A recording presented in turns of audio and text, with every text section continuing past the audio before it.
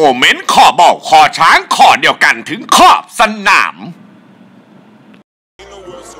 ภายหลังจากต้องนอนอยู่ในเรือนจำนานกว่า 1 เดือนโรนัลดิญโญ่ก็กลายเป็นอิสระได้รับการปล่อยตัวชั่วคราว จากการทำผิดกฎหมายในประเทศปารากวัย จากคดีปลอมแปลงพาสปอร์ตนับเป็นข่าวใหญ่ที่อยู่บนพาดหัวสื่อไปทั่วโลก แต่ระดับเหยินน้อยต่อให้นอนซังเต ชื่อเสียงของเขามันยิ่งใหญ่มาก แทบจะไม่มีความยากลำบากให้เห็นชีวิตโรนัลดิญโญ่ไม่เหมือนคนคุก เขาดูใช้ชีวิตอย่างหรูหราเป็นเหมือนราชาในเรือนจำซึ่งต่อจากนี้ขอบสนาม Special จะขอเล่าเรื่องชีวิตของเขากับการต้องมารับโทษณสถานกักขังที่ปารากวัยครับ เริ่มตั้งแต่วันแรกที่โรนัลดิญโญ่ถูกศาลตัดสินต้องเข้าไปนอนพักที่เรือนจำพร้อมกับพี่ชาย หากเป็นดาราคนดังอื่นๆ คงต้องนั่งเครียดจมทุกข์ไปแล้ว เพราะชีวิตที่เคยฮารุฮาราปาร์ตี้เป็นว่าเล่น อยู่ดีๆ กลับต้องมาชดใช้ความผิดนอนร่วมกับนักโทษ ซึ่งภาพแรกที่เราเห็นโรนัลดิญโญ่อยู่ในคุกนั่นคือรอยยิ้ม กลับกลายเป็นว่าเรือนจำที่ปารากวัยวันนั้นเหมือนโรนัลดิญโญ่ไปเดินพรมแดงโชว์ตัวซะมากกว่า เพราะตลอดทางที่โรนัลดิญโญ่ย่างก้าวไปนั้นมีแต่ผู้คุมมาขอถ่ายรูปมายืนรอต้อนรับเหมือนเข้าบ้านอะคาเดมี่แฟนตาเซีย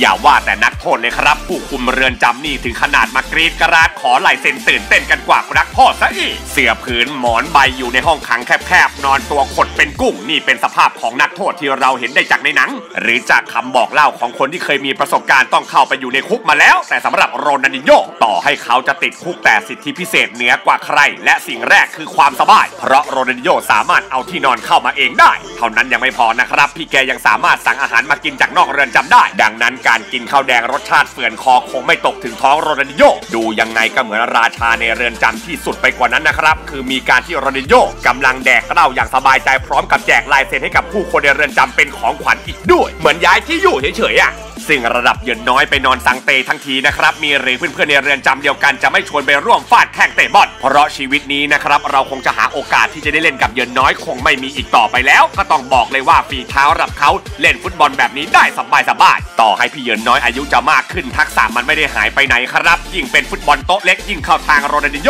พี่แกเลยจัดการโชว์ลีลาลูกหนังยิงไป 6 ประตูพร้อมจัดอีก 5 แอสซิสต์พาทีมเรือนจำตัวเองคว้าแชมป์เอาชนะคู่แข่งไป 11 ต่อ 2 ก่อนจะได้เนื้อบาร์บีคิวรมควันหนัก 16 กิโล เป็นถ้วยแชมป์ชนะเลิศ ปกติแล้วนะครับโรนัลดิญโญ่จะจัดปาร์ตี้วันเกิดแบบเต็มสตีม แต่ในเมื่อปีนี้เขาต้องถูกสั่งจำคุกทำให้การฉลองอายุครบ 40 ปี ต้องเกิดขึ้นแบบเหงาแต่อย่างไรก็ตามครับ นี่คือโรนัลดิญโญ่อดีตจอมทัพแชมป์ฟุตบอลโลก 2002 ซึ่งมันไม่ได้เหงาขนาดนั้นหรอก เพราะมันก็มีภาพที่โรนัลดิญโญ่ฉลองวันเกิดอายุเข้าหลักสี่อยู่ข้างๆ เนื้อย่างชั้นเลิศพร้อมกับมีรอยยิ้มแฉ่งของเจ้าตัว ซึ่งแน่นอนแหละครับว่าจากสิทธิพิเศษเรื่องสั่งอาหารเข้ามาได้ทำให้เขามีอาหารชั้นหรูเป็นค่ำคืนแห่งการฉลองนี่แหละครับ แม่งติดคุกตรงไหนวะเนี่ย ซึ่งหากเราเคยดูภาพยนตร์ที่ต้องไปถ่ายในเรือนจำนะครับ จะเห็นว่ามีกิจกรรมของนักโทษ ไม่ว่าจะเป็นเล่นกีฬาต่างๆ พร้อมกับภาพที่มีผู้คนแออัดอยู่เต็มลานกว้างทำความแสงแดดจากดวงอาทิตย์ แต่ภาพของโรนัลดิโยนั่นคือการขออยู่แบบสงบสงบๆปลีกตัวออกมาเล่นฟุตบอลเล่กับเพื่อนๆ4คนในเรือนจำให้อารมณ์เหมือนสมัยเด็กๆ ออกไปเตะบอลในสนามช่วงเย็นไม่เหมือนคนคุกที่ต้องมาเจอกับความยากลำบากเอาเสียเลยซึ่งหลังจากที่พี่เหยินน้อยต้องนอนอยู่ในคุกปารากวัยเป็นเวลา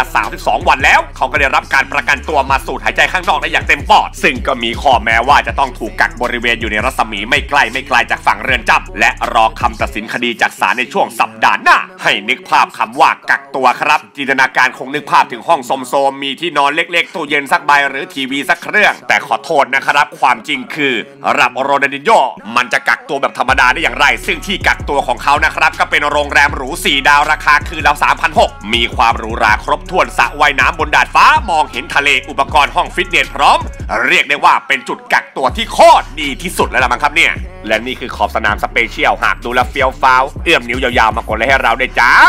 And this is just a youngin'. They hit up my DM, say I'm sick, need Robitussin. Like, what?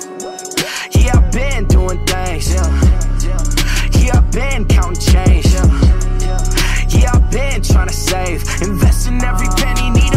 in my lane. Yeah, they can see the money coming quicker than a virgin. Cutting up these records every night like I'm a surgeon. Like, just keep on getting better, I just keep on learning. How to deal with snakes like my name is Stephen Irwin. These days, they wanna know how it happened. They see my name and they know that I'm snapping. Started from the hoops like I'm Jimmy Fallon. Yeah. Late nights in the booth like I'm Jimmy Fallon. Yeah, yeah. I remember when they used to talk, I always listen. But I don't hear nothing now.